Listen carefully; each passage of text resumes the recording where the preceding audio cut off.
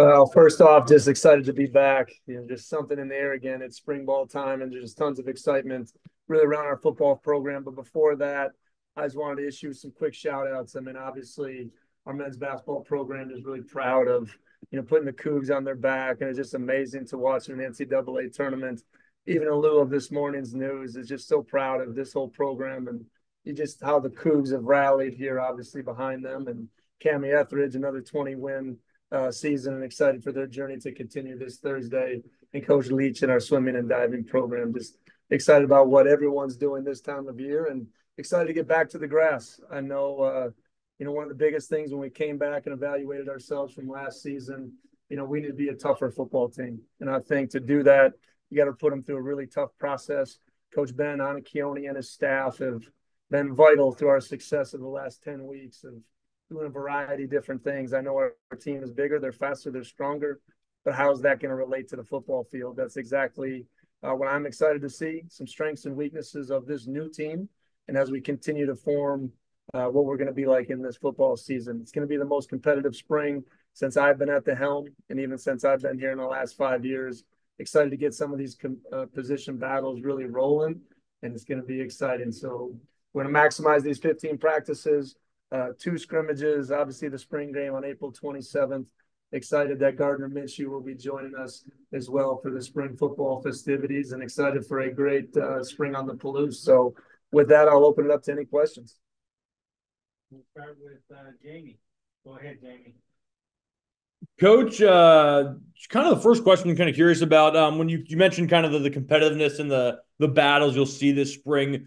For you personally, what battles are you kind of really looking forward to watching in terms of maybe one or two spots you think are going to be uh, extra competitive? Um, even though, of course, you said all are going to be competitive.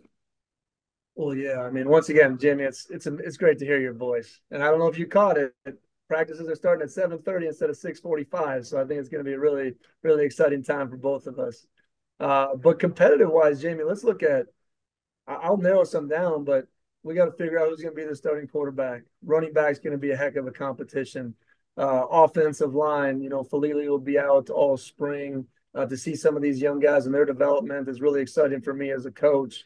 Uh, wide receiver, who's going to be out there opposite Kyle Williams on the outside, and who's going to take over those inside receiver reps and touches that are really vital in our offense. Uh, defensive tackle, who's going to replace RJBJ defensive end? Can we elevate the linebacker position? Obviously, Sam Lockett and Hicks to replace those guys is going to be a challenge, and add replacing Lampkin and Shaw on the outside. So Obviously, the quarterback position will get a lot of the attention, Jamie. The one thing I've said about every position, not a single job will be won out of this spring. Uh, so I want to make sure our guys are out there, they're playing fast, especially new guys to our program. They understand there's going to be a learning curve. I want them out there failing often, going out there and not making the same mistakes twice, but growing within our football program. But obviously, John and, and Zevi and Evans and Jackson and all of our quarterbacks in that room. It's going to be a heck of a competition as we go throughout spring. I'm excited to see Ashton Tripp as a young guy. Uh, we firmly placed him behind Esa. He's going to be a heck of a challenge.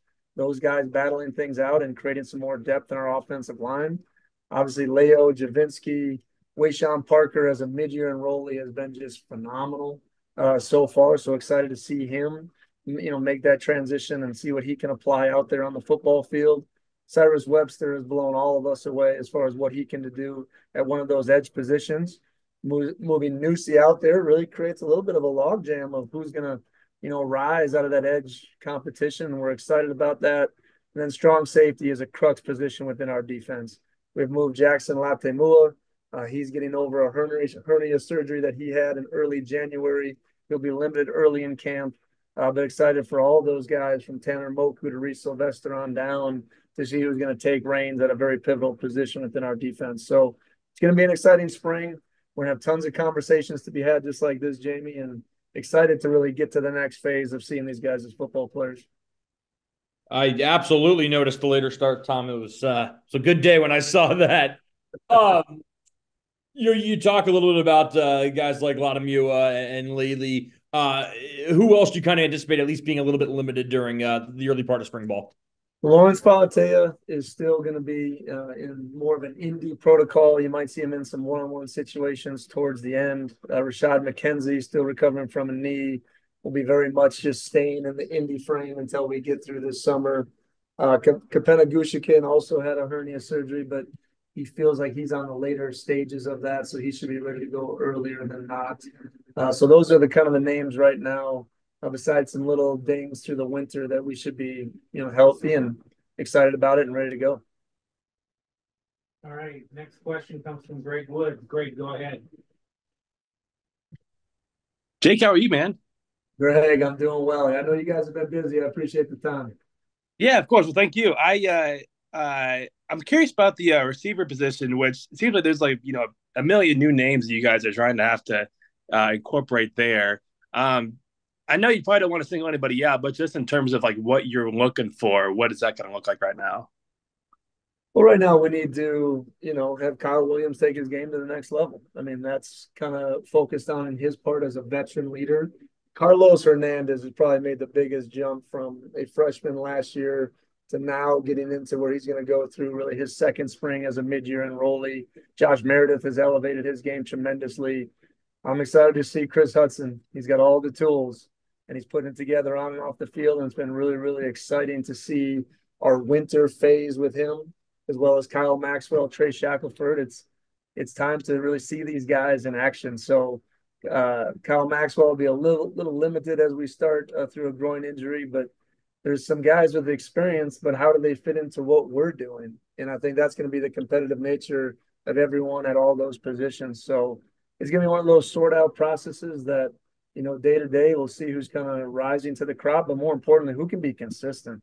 And, you know, one of the biggest things uh, of emphasis is we got to take the ball down the field. You know, I'm really confident in our short passing game and some of those things that we did last year, but not enough explosive plays down the field. And I believe we have explosive people. And I think uh, our quarterback room is going to prove that they can throw the deep ball with tremendous accuracy. So it'll still be Greg getting that really gel period out, you know, early in camp. And then when we get to, you know, practice eight through 12 is going to be big for that offensive skill to really just see if we're in rhythm. And then what is uh uh Lily dealing with again? Lily, all the way back to fall camp, was going through a, a right knee issue and really gutted out the whole season with tremendous strength and passion. And, you know, but we have a bigger picture to fulfill, and that's his future. So we had to you know, get in there and clean it up. And, and when you do some of those things, you find some things that, you know, weren't as good as you thought they were. So we, we got him completely restructured in that knee and, and uh, I think it'll be the best for his future and he'll be ready to go sometime this summer. All right. As a reminder, please raise your hand if you have a question. We'll call on you. Uh, next one, Andrew Quinn. Go ahead, Andrew. Hey, Jake. Um, I was just wondering, you know, you spoke about the quarterback room, bringing in Zevi and bringing in these freshmen. How excited are you to see those guys push John in, in spring practice and just your thoughts on the quarterback room overall as you guys really get going here? Well, I do think it's a great question because the one thing we weren't willing to do recruiting anybody was just tell them that we're going to give them the job, right? We're going to come in and compete. We have someone in house that we feel very strongly about that has the intangible ability to go out there and execute our offense maybe to a higher degree than even we've been the last couple of years. Even talking to Coach Arbuckle, it's a different room. I mean, Zevi is a professional in everything he does. I mean, he is quick, he's sharp, he's articulate, he understands protections. And Evans Chuba, you know, coming in as a mid-year enrollee, uh, you know, you see him run around in some of the lines, you think he's a defensive end with how athletic he is. Yet he can really sling the football. So Jackson Potter and that whole group. So it's just going to be exciting to really formulate the foundation of our offense. Yet everyone's going to have different strengths that we got to make sure we tool uh, and use John's running ability. You know, Zevi's good job and just a lot of variety of things he can do.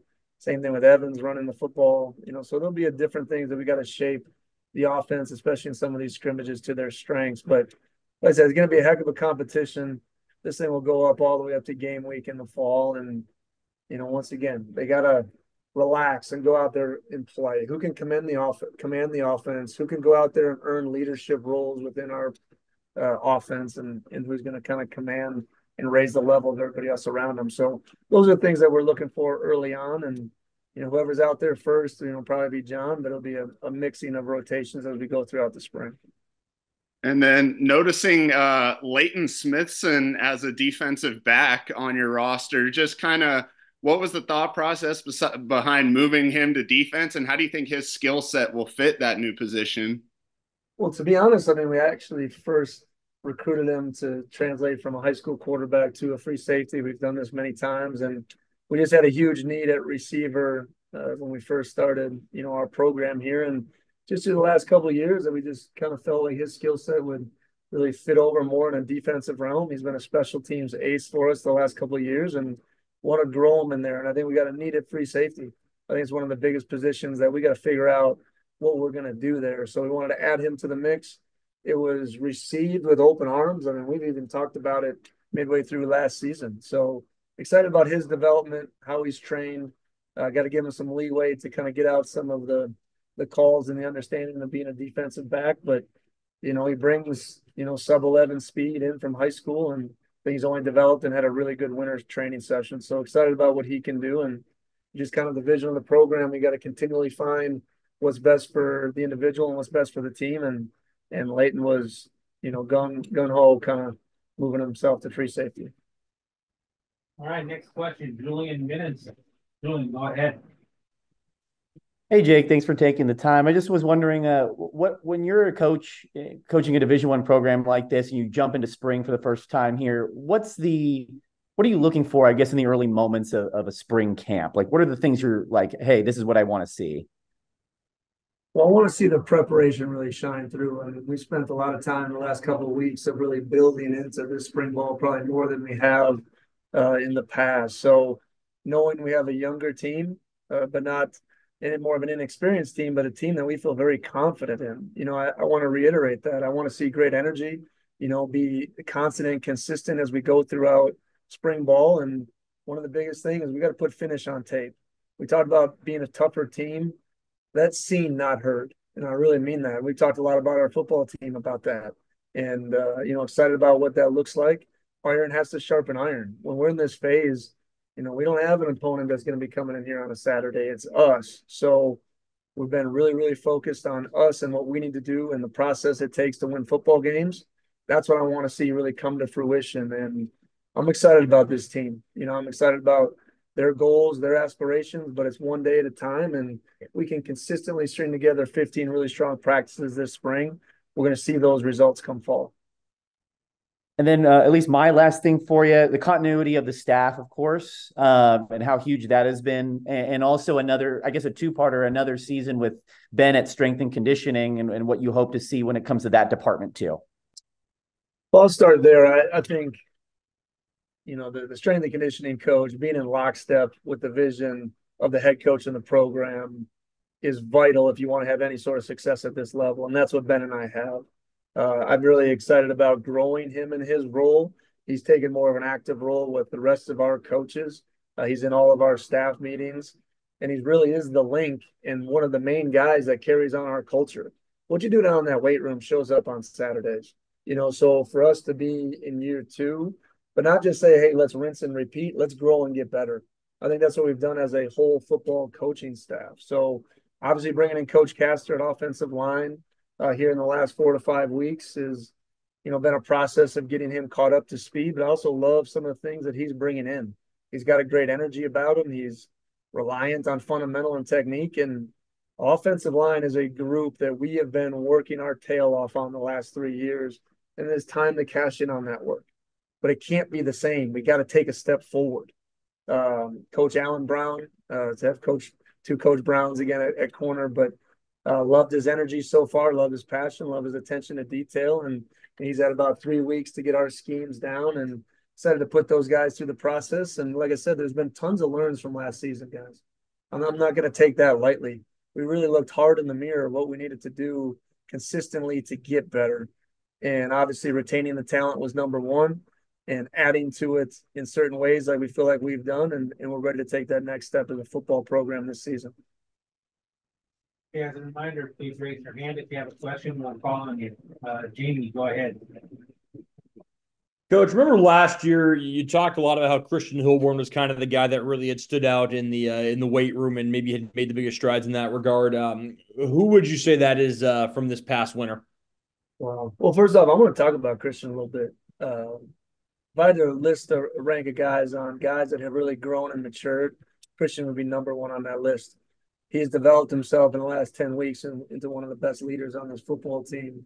And I'm excited about his continued growth uh, because you know once again it's a guy that's played a ton, but that doesn't always mean just because you you play that you've really grown into that leadership role and responsibility. He's really taken that on, and I'm really proud of that kid. Even though you mentioned him, um, you know, like younger guys that have been in our developmental process, uh, Khalil Laufau, Ansel Dinbu at the defensive tackle position have been just incredible to see their growth. Ram Stevenson has been carrying 243 pounds plus really the last eight weeks and looks like a different human being. I can't even I can't even describe it.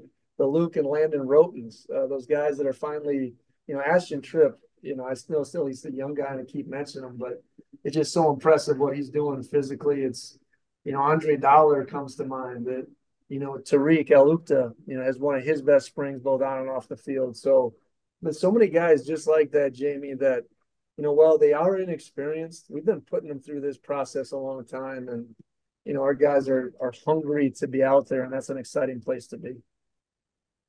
Outside of uh, of Leighton and Jackson, who I know we talked about um, in in recent weeks and months, uh, any other late position changes, even if it's just guard to tackle or so on?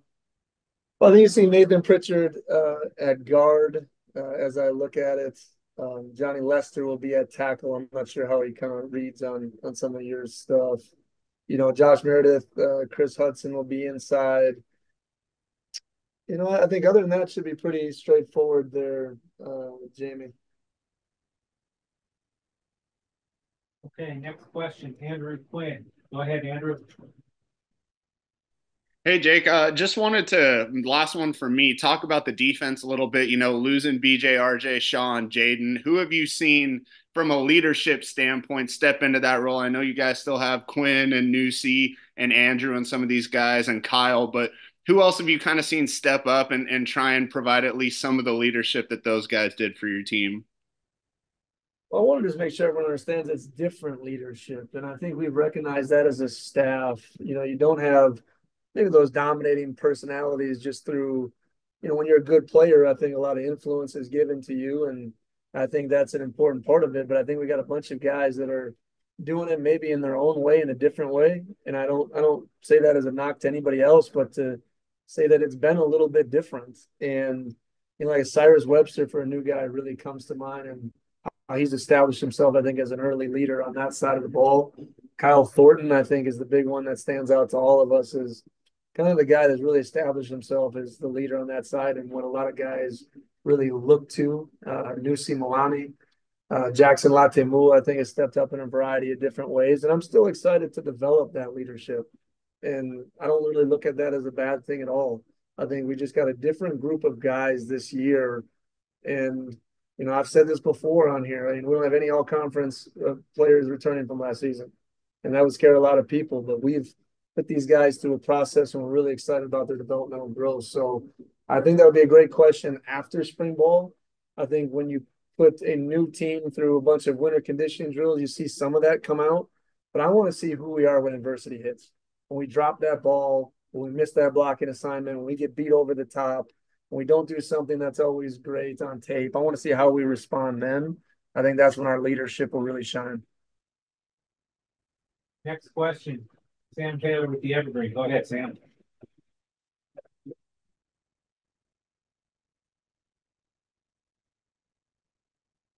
Go ahead, Sam. Sammy there? Oh, yeah, I'm sorry. I think I was muted for a bit. Um, thanks so much for making the time. I was wondering if you could talk about uh, Jahad Woods and his journey from a player to scout to now defensive GA.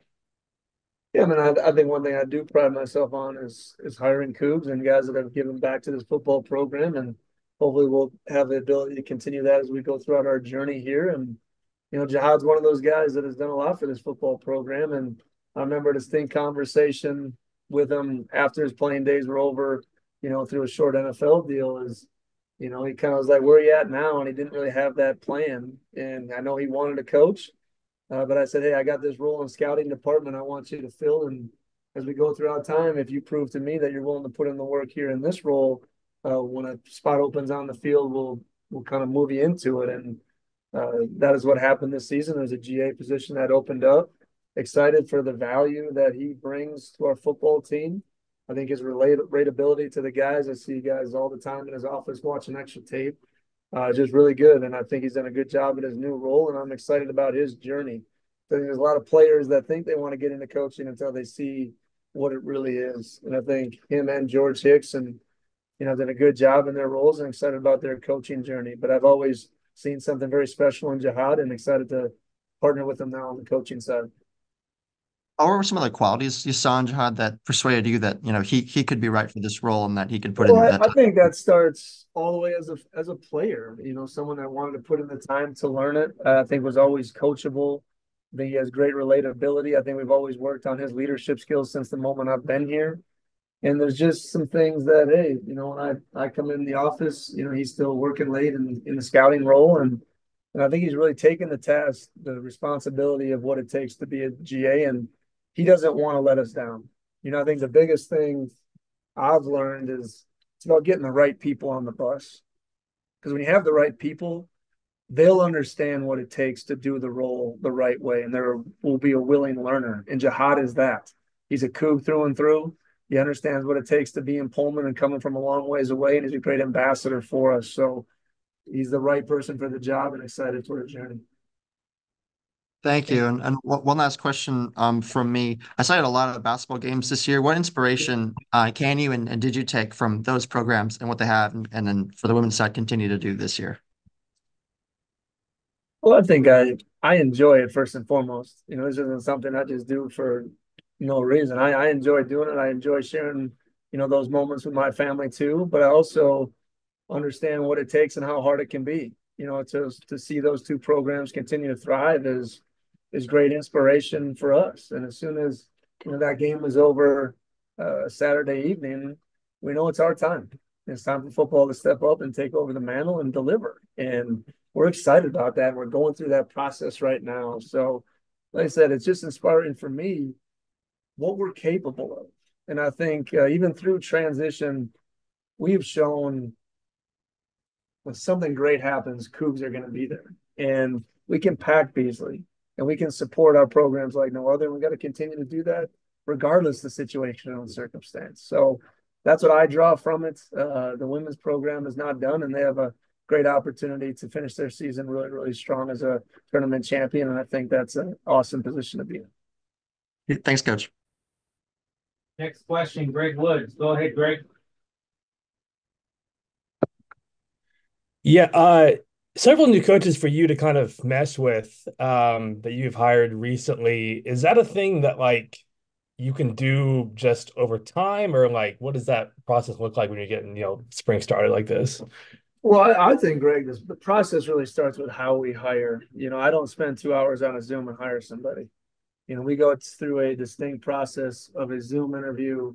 We still are old school. We get people on campus and even though the time maybe in other people's mind was dwindling down, you know, I want to make sure once again we got the right person. And you don't do that just interviewing one person on Zoom for two hours. So we put in the time to get it right. Uh, Coach Castor and Coach Brown, I think, are the right people for our program. Obviously, Coach Brown is very familiar with, you know, our area of the country, being, you know, from Washington and an Eastern Washington grad, and obviously Coach Arbuckle and Coach Castor had a, you know, a lot of familiarity with each other, and some time at uh, HBU down there in Houston. Uh, but at the end of the day, this is a step up and an opportunity for us to grow our program. Anytime there's transitions, you know, it's an opportunity to grow a program and bring some outside ideas in and find a way to get better. So, giving those guys some leeway and understanding, but my job is to create clarity for those guys at every, you know, turn possible from the recruiting realm to the coaching realm I always tell them, you know, I'm going to be upfront and honest with what ways that we can get better. I've been really pleased with where they're at so far and excited about their journey as we get into practice one tomorrow. Did you uh, get an invite to BJ's wedding? I didn't see him the other day. I congratulated him. I, I hope. Okay, that's in the mail, but uh, he's getting started on that journey. He's not getting married till that summer, but uh, great story. Really excited for him, and uh, uh, obviously pro day is uh, Wednesday. Uh, it's going to be at the University of Idaho, just because of our indoor situation with the weather.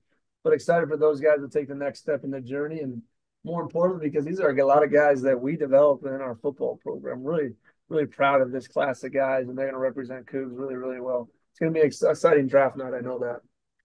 Yeah. Thanks, Jake. All right, uh, any final questions for Coach Dickert? Here's your last chance. I appreciate everybody. Excited to get back out in the field. Bring your rain gear for tomorrow morning. It's going to be fun when to start off on the right deal. So go Cougs. Thank you, everyone.